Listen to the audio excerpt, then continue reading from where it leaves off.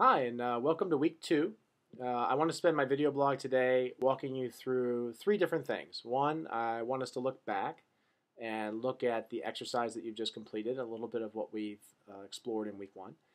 Uh, I want to look forward to the final project and just talk to you a little bit about that. And I want to spend some time talking about the next 24 hours as we dig into the Mean Girls case. So uh, first, why don't I just start with the Mean Girls case and say that um, as you explore this case, um, I think that you're going to find a lot of elements that you're familiar with. And you'll notice that in my instructions for the discussion board, I've been uh, very explicit about asking you to not just respond to your own you know, experience and gut instinct and what that's telling you as you learn more about this situation, but also to look at uh, things like frame theory or schema theory or decision making theory and, and choose one of those lenses or multiple lenses to help guide how you think about this case. And you know, I know a lot of times in an academic environment, you you get exposed to theory and you're asked to apply it to practice, and it's not really clear what good that does you.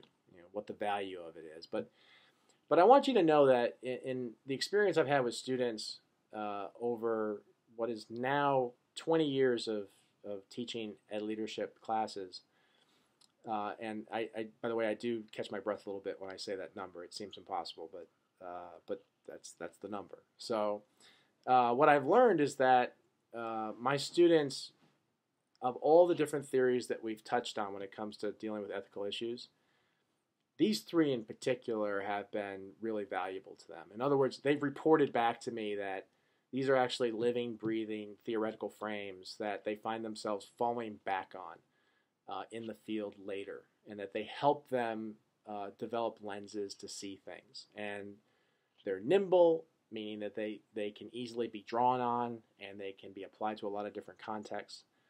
Uh, and, and I think that they, they, can be very effective. And so uh, we're, pra- we're practicing that. Uh, we're trying those on for size. And for those of you who will take me in other classes, uh, you'll find that some of these I, I pull on um, at a variety of different times through different classes. Uh, for example, frames theory, uh, when I teach the schools and uh, organization class uh, in the fall, uh, I, I, we rely on that very heavily. So, so that's, that's my thinking. That's why I'm doing what I'm doing. Uh, I do think that it has a lot of practical value. It's not just an academic exercise. Um, looking backwards, I've really enjoyed reading part one of the assignment. I realized as I did a count that in my career I've read uh, between 500 and 600 of these interviews, uh, and I never grow tired of them. Uh, I learn a lot from them, and the reason I assign those is because I'm trying to give you an opportunity to have a face-to-face conversation with somebody about what is very difficult to talk about, uh, which is moral failure or, or moral difficulties. And I think it's it's hard to approximate that in a discussion board. And so, giving you the opportunity to have that interaction I'm hoping will be uh, a source of inspiration for reflection as you look at your own moral failures moving into the final assignment.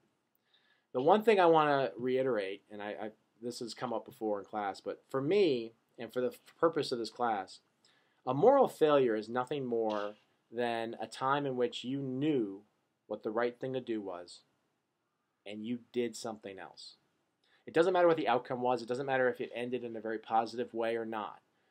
It's simply that an issue of integrity between what you decided was right and what you actually followed through with. Um, well, that's all I have for the blog today. Um, looking forward to seeing you online.